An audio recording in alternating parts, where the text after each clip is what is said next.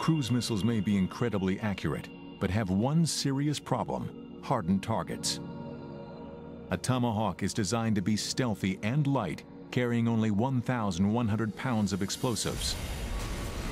That won't do the job if the target is a deeply buried military bunker, as Sidney Alford will demonstrate. Using a scale model, he simulates a missile attack on a bunker built into rock. In it, I propose to place an array consisting of a military truck and some little chaps. Alford's detonator mimics a direct missile strike on the surface of the bunker.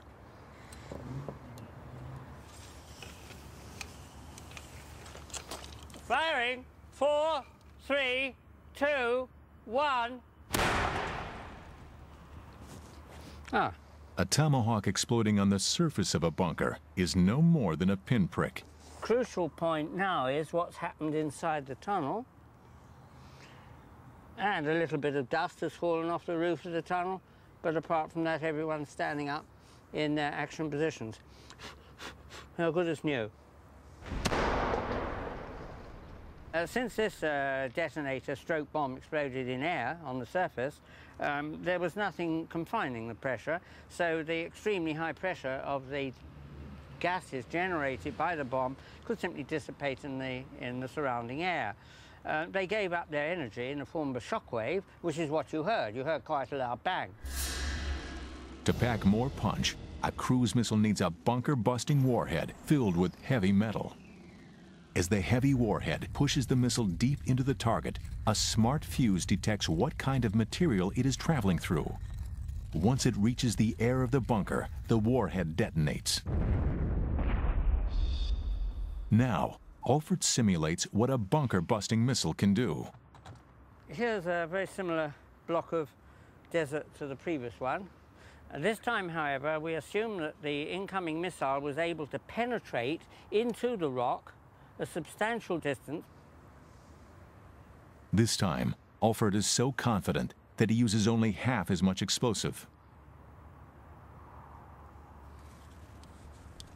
Firing. Four, three, two, one. Well, you can see this is clearly a very different effect. First of all, on the surface, um, I can see no damage at all. If we look here, we can see obvious damage. The tunnel has been almost completely voided. Um, here's the vehicle in significant, significantly blown up. Um, chassis ripped, the top's all gone. Uh, the little men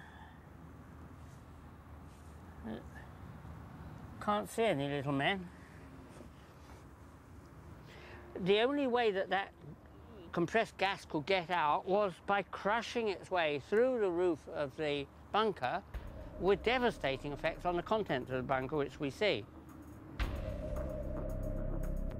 A bunker-busting warhead can penetrate about 100 feet into the earth and 20 feet into concrete. Now, there truly is no place to hide.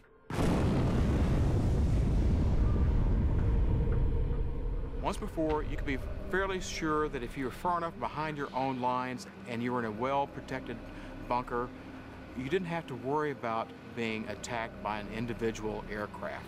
You felt fairly secure.